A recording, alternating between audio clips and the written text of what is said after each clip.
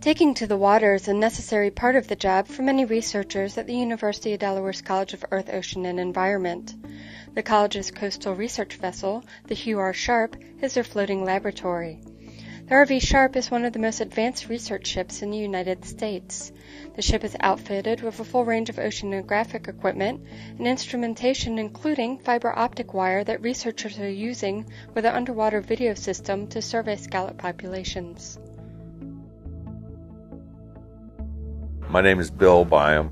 I'm uh, the Director of Marine Operations for the University of Delaware. The purpose of this project is to determine the scallop population on the East Coast and to open and close specific areas based on the results of these uh, test drags. We started doing uh, the scallop survey about four years ago, and our uh, contribution to the project was primarily dredging. It's funded through NOAA. They did this project for 25 years on their own vessel, and that vessel was retired obviously four years ago, and then that's when we started uh, doing it. And we'll be doing it again in 2012. So the first uh, two years we just dredged. The third year we uh, dredged, and then we set up uh, and did some camera work. Fourth year we dedicated one whole leg, one 12 day leg to uh, just video camera work. What they're attempting to do with the camera is to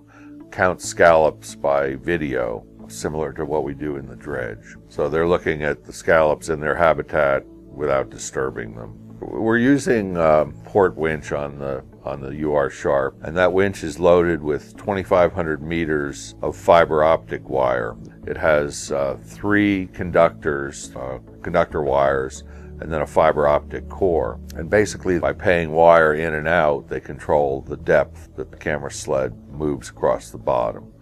And that's done from inside the lab, and then they're getting, with the uh, fiber optic wire, they get real time uh, video back into the lab itself and the uh, work starts down off of Virginia, goes uh, north up to Long Island, and then up to uh, what they call the Light Ship, which is uh, Nantucket Light, and then all the way around Georges Bank. And there's some pretty neat stuff, some lobster photos and fish photos, but obviously the NOAA people are primarily looking for scallops, but there, uh, and then there were some shipwrecks and some beer cans and other identifiable items on the bottom uh, that you would expect to see in, in this type of video. They can actually, uh, in the past, some of the um, the camera sled work that we've done, you can actually see the track where the dredge has passed through on the bottom. So they will be doing it to compare uh, the, inform- the data that they get as far as uh, uh, validity.